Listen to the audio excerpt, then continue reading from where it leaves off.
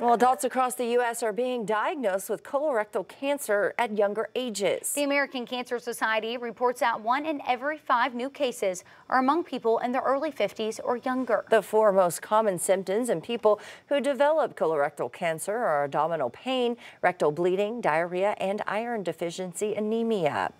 Dr. Matthew Kalady, a colorectal surgeon, says that colonoscopies can save lives. For those at average risk, it's now recommended that you have the procedure at 45.